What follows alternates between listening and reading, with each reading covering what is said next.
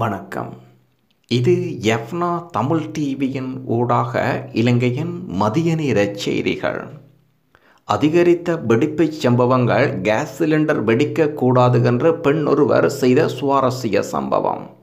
புதிதாக வாங்கிய gas cylinder வெடிக்கக்கூடாது என்று கடவுளுக்கு நீந்து துணியில் காசு கட்டி அதனை சிலிண்டரில் கட்டி சமையல் ஈடுபட்டு வருகின்ற சம்பவம் மட்டக்களப்பு ஆரியம்பதியில் இடம்பெற்றுள்ளது. அண்மை காலமாக நாட்டில் எரிவாயு சிலிண்டர்கள் அடுப்புகள் தொடர்ந்து வெடித்து வருகின்ற நிலையில் பெண்ணின் இந்த செயல் கேஸ் சிலிண்டர் மீதான பயத்தை எடுத்து காட்டுவதாக அமைந்திருக்கின்றது. குறித்த வீட்டின் சமையல் அறையில் சோதனையின் போது அங்கிருந்த எரிவாயு சிலிண்டரில் மஞ்சள் துணியொன்றில் காசு கட்டப்பட்டுள்ளதை அவதானிக்க முடிகின்றது. இதன்போது போலீசார் விசாரித்த போது எரிவாயு சிலிண்டர் அடுப்பு வெடிக்கக்கூடாது என்று கடவுளுக்கு நேர்ந்து காசு கட்டியதாக அந்த பெண் விளக்கம் அளித்திருக்கின்றார் இதேவேளை குறித்த பிரதேசத்தில் உள்ள வீடொன்றில் போலீசார் முற்றுகையிட்டு சோதனையின் போது கசிப்புடன் பெண் ஒருவரை போலீசார் கைது செய்துள்ளமை குறிப்பிடத்தக்கது. மட்டக்களப்பு அரசடி வீட்டில் கொலை செய்துவிட்டு தப்பிய கொலையாளிகளை தனது முயற்சியினால் ஓட்டோவில் சென்று தனியாக மடக்கி பிடித்து போலீசாரிடம் ஒப்படைத்த இளைஞர் இவர்தான். இவருக்கு பாராட்டுக்கள் குவிந்த வண்ணம் பெறுகின்றது மட்டக்களப்பு அரசடியில் வர்த்தகரின் மனைவியை குரூரமாக கொலை செய்துவிட்டு நகைகளை கொள்ளையிட்டவர்கள் மடக்கி பிடிக்கப்பட்டிருந்தனர். மட்டக்களப்பு தலைமக போலீஸ் பிரிவுக்கு உட்பட்ட அரசடி பகுதியிலுள்ள வீடொன்றில் வர்த்தகர் ஒருவரின் மனைவியை கொலை செய்துவிட்டு அவரது நகைகளை கொள்ளையிட்டு சென்ற இருவரே பொதுமக்களினால் மடக்கி பிடிக்கப்பட்டிருந்தனர்.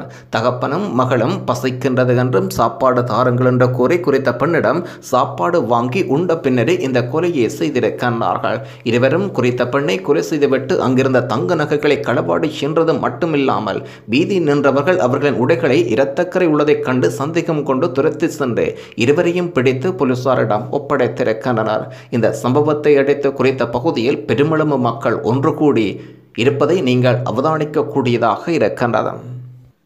நுவரெலியாவுக்கு உள்நாட்டு வெளிநாட்டு சுற்றுலா பயணிகள் படையெடுப்பு வைரஸ் விதிமீறல்.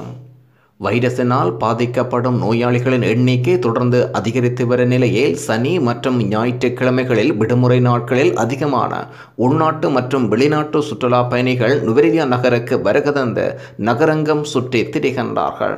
வருகதந்த சுற்றுலா பயணிகள் அதிகமானோர் முகக்கவசம் அணியாமல் சமூக இடைவெளிகளை பின்பற்றாமல் சுகாதார வழிகாட்டு முறைகளை அலட்சியப்படுத்தி நடமாடுவதை காண முடிகின்றது.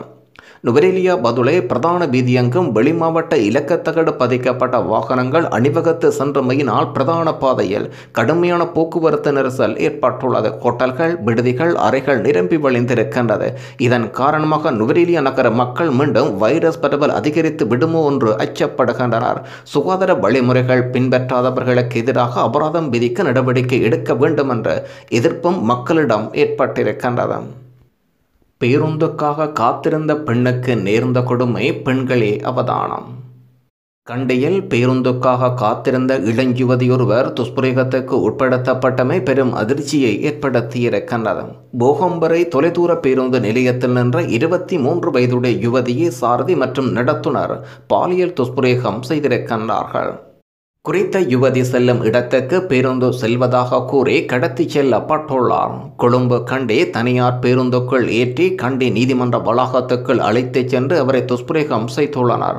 மாவனல்ல பிரதேசத்தினைச் சேர்ந்த நாற்பத்தி ஏழு வயதுடைய நபரும் கண்டி பிரதேசத்தினைச் சேர்ந்த ஐம்பது வயதுடைய நபருமே கைது செய்யப்பட்டுள்ளனர். கடந்த பதினேழாம் தேதி இந்த சம்பவம் இடம்பெற்றுள்ளதாக பாதிக்கப்பட்ட பெண் போலீசாரிடம் தெரிவித்துள்ளார். பெற்றோரை இழந்த குறித்த யுவதி வீட்டு பணிப்பெண்ணாக வேலை செய்து வந்துள்ளார். இறுதியாக பணியாற்றிய வீட்டில் தன்னை கடுமையாக தாக்கியதாக கூறி அவர் அந்த வீட்டிலிருந்து ரகசியமாக வெளியேறியிருக்கின்றார். அங்கிருந்து தப்பியவர் நுவரெலியா உள்ள உறவினர் வீட்டுக்கு செல்லும் போது இந்த சம்பவத்துக்கு முகம் கொடுத்துள்ளார். வவுனியாவில் இளம் குடும்பஸ்தர் சடலமாக மீட்போம் வவுனியா கூமாங்குளம் பகுதியில் வீடொன்றில் தூக்கில் தொங்கிய நிலையில் இளம் குடும்பஸ்தர் ஒருவரின் சடலம் மீட்கப்பட்டுள்ளதாக போலீசார் அறிவித்துள்ளனர். வவுனியா கூமாங்குளம் பகுதியிலுள்ள வீடு ஒன்றில் வசிக்கும் குடும்பஸ்தர் வீட்டு வாசலில் தூக்கில் தொங்குவதைக் கண்ட இயலவர்கள் போலீசாருக்கு தகவல் வழங்கியதடுத்து சம்பவ இடத்துக்கு சென்ற வவுனியா போலீசார் குறித்த சடலத்தை மீட்டுள்ளனர். சடலமாக மீட்கப்பட்டவர் அந்த பகுதியினைச் சேர்ந்த இளம் குடும்பஸ்தரான முப்பத்தி நான்கு வயதுடைய பெரியசாமி நாகராஜன் என்பவரே ஆவார். போலீசார் குறித்த சம்பவம் தொடர்பில் தடவியல் போலீசார் உதவியுடன் மேலதிக விசாரணைகளை முன்னெடுத்து வருகின்றனர். வவுனியா மாவட்டம் அண்ணாநகர் சூடு வெந்தபுலவு மற்றும் ரஜ்மத் நகர் பகுதிகளுக்கு விஜயம் மேற்கொண்ட அகில இலங்கை மக்கள் காங்கிரஸ் தலைவர் ரிசாட் பதுதீன் அந்த மக்களை சந்தித்து கலந்துரையாடியிருக்கின்றார். வவுனியா மாவட்டம் மதினா நகர் மற்றும் ஹிஸ்டாபுரம் புலிதரித்த புளியங்குளம் மற்றும் அரபாநகர் பகுதிகளுக்கு விஜயம் மேற்கொண்ட அகில இலங்கை மக்கள் காங்கிரஸ் தலைவர் ரிசாட் புதின் அந்த மக்களை சந்தித்து கலந்துரையாடியிருக்கின்றார் சீனாவுக்கு எதிராக நாம் போராட வேண்டிய நிலை வரலாம் ஸ்ரீதரன். சீன தூதுவர் சக்கோட்டையில் இருந்து இந்தியாவுக்கு எவ்வளவு தூரம் என்று கேட்பதும் அவர் மன்னாரிலிருந்து மூன்று மணல் திட்டு வரை செல்வதும் ஒரு மிக ஆபத்தானது. சீனாவின் நடவடிக்கைகளை நாங்கள் ஒருபோதும் துளியிடவும் ஏற்க மாட்டோம். இவ்வாறு பாராளுமன்ற உறுப்பினர் சிவஞானம் ஸ்ரீதரன் அறிவித்துள்ளார். சீன தூதுவர் வடக்குக்கான பயணத்தை மேற்கொண்டிருந்த பின்னர் வாசுதேவன் நாணயக்கர வடக்கில் சீனாவுக்கும் இந்தியாவுக்கும் காணிகளை வழங்க உள்ளதாகவும் கருத்து வெளியிட்டுள்ளார். இது தமிழ் மக்களின் இருப்பை கேள்விக்குறியாக்கியிருப்பதே. என்று ஊடகவியலாளர் சந்திப்பில் ஸ்ரீதரன் பதில் வழங்கியிருக்கின்றார் இரண்டாயிரத்தி நான்காம் ஆண்டு சுனாமி காவு கொள்ளப்பட்டவர்களின் நினைவாக இருபத்தி ஆறில் செங்கடலி என்ற இசைத்தட்டு வெளியீடு உடுத்துறை பாரதி விளையாட்டு மைதானத்தில் வெளியிட்டு வைக்கப்பட்டது. அதன் பின்னர் ஊடகங்களுக்கு கருத்து வெளியிடும் போது அவர் இதனை குறிப்பிட்டுள்ளார். இலங்கை அரசாங்கம் தற்பொழுது புதிய ராஜதந்திரத்தை கையாள்கின்றது. அத்துடன் இந்தியாவை விரட்டி கையாள்வதற்கும் சீனா என்ற யுத்திகளை கையாள வேண்டுமோ அதற்கான ஈழத்தமிழர்களின் உரிமைகளை நசுக்குவதற்கும் சீனா ஒரு கருவியாக இலங்கை பயன்படுத்தி தான் வடக்கையும் கிழக்கையும் பெரியளவில் பயன்படுத்தி இருக்கின்றது. தமிழர்களின் இருப்பை கேள்விக்கு உட்படுத்துகின்ற ஒரு விடயத்தை சீன தூதுவர் கடந்த இரண்டு நாட்களாக செய்து வருகின்றார் என்று குற்றம் சுமத்தியிருக்கின்றார் பாராளுமன்ற உறுப்பினர் ஸ்ரீதரன். கட்டாருக்கான இலங்கை தூதுவருக்கும் பாராளுமன்ற உறுப்பினர் முசாரப்புக்கும் இடையில் விசேட சந்தை போன்று கட்டார் அல் துமாவில் இடம்பெற்றுள்ளது. கட்டாருக்கான இலங்கை தூதுவருக்கும் இலங்கை பாராளுமன்ற உறுப்பினர் முசாரப்புக்கும் இடையில் விசேட சந்திப்பொன்று கட்டார் அல் தூமாவில் அமைந்துள்ள இலங்கை தூதரக அலுவலகத்தில் இடம்பெற்றுள்ளது. இந்த சந்திப்பில் கட்டார் வாழ் இலங்கை மக்கள் எதிர்கொண்டுகின்ற அசௌகரியங்களுக்கான தீர்வுகள் பற்றி விரிவாக கலந்துரையாடப்பட்டதோடு இலங்கைக்கும் கட்டாருக்குமான வரலாற்று தொடர்புகள் பற்றியும் பேசப்பட்டுள்ளதாக சொல்லப்பட்டுள்ளது. இந்தியாவின் ஆசைகளுக்காக வடகிழக்கு முஸ்லிம்களை பலி கொடுக்க தயாராகின்றார் ஹக்கீம். கிழக்கு மக்கள் விழித்தெழுங்கள் குரலெப்ப வேண்டும் என்று அக்கி காங்கிரஸ் சொல்லியிருக்கின்றது. கிழக்கு மாகாணம் மக்கள் மீது அடிமை சாசனமாக எழுதப்பட்ட பதிமூன்றாவது திருத்த சட்டத்தை அமுலாக்க கூறும் நடவடிக்கைக்கு ஸ்ரீலங்கா முஸ்லிம் காங்கிரஸ் துணை போவது முஸ்லிம் சமூகத்தின் நாட்டின் எருமைக்கும் செய்யும் துரோகமாகும். இந்த துரோகத்துக்கு எதிராக கிழக்கு மக்கள் விழித்தள வேண்டும் என்று அக்கிய காங்கிரஸ் கட்சியின் தலைவர் மௌலவி அப்துல் மஜீத் வேண்டுகோள் விடுத்துள்ளார். அரச மருத்துவ அதிகாரிகள் சங்கம் நாடு தழுவிய ரீதியில் தொழிற்சங்க நடவடிக்கை.